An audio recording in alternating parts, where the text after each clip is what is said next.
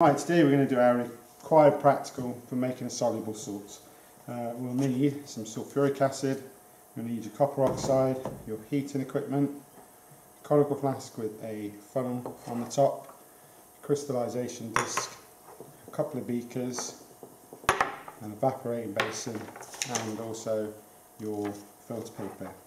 Alright, if you're wearing a tie, you should tuck it in and we should always make sure we're wearing our goggles now, the first thing we need to do is we need to take our sulfuric acid and we need approximately 40 millilitres. It doesn't need to be too accurate so you can measure it using the graduations on the side there.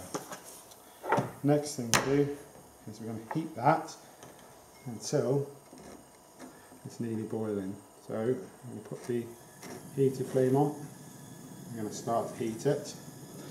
I'm going to leave it for a few minutes as it starts to heat up. While that's ready, you can get your filter bottle paper and you can fold it up half and half like so and that could quite easily fit inside there. Now remember this is going to get hot so you should be very careful while that's going and we're not waiting for it to boil. We look, alright, so it's just about there, and we can turn the Bunsen burner off. Now this will be hot, so be careful. I'll take it off. Next I'm going to add some copper sulfate, copper oxide. I'm going to stir in. I'm going to add, I'm going to keep adding. And this will cause a reaction so you can think about what kind of reaction you've got there. You've got your metal oxide reacting with sulfuric acid to make a salt. So we should think about what type of salt it's making. We should keep adding the copper oxide until it no longer fizzes.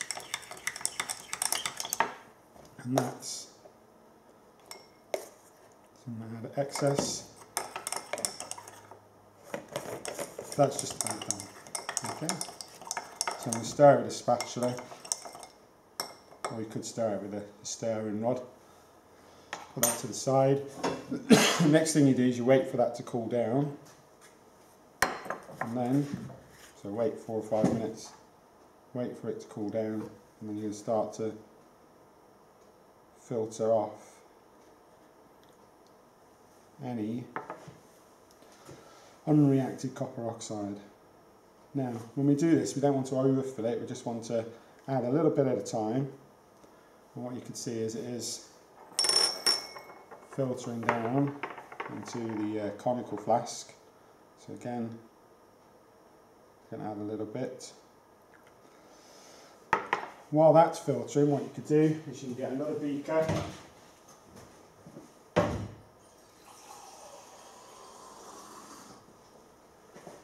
fill that with water. Ready? So it's still going there.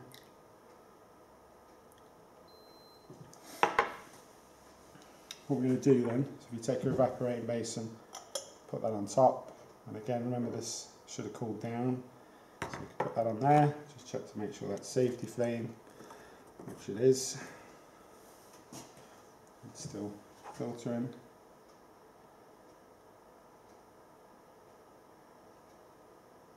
You'll notice there's lots of unreactive copper oxide in there, that's good, that's what we want. Right. So in the interest of time, what I'm going to do is I'm going to take that off. You can leave it to filter all your solute through. Alright, next what you do is you take your filtrate Put that on there. And again, I'm going to light our Bunsen burner. Like so. Turn it onto a heating flame. And what you want to do is you want to heat this until your solution there starts to boil or bubble so imagine that it started to bubble. You could turn off the uh, Bunsen burner, wait for this to cool, and then we pour this into a crystallization dish, like so, and then we leave that for 24 hours till our crystals are formed. Once our crystals are formed, what we can then do is we can take two pieces of filter paper we can dry the crystals on the filter paper and we should then have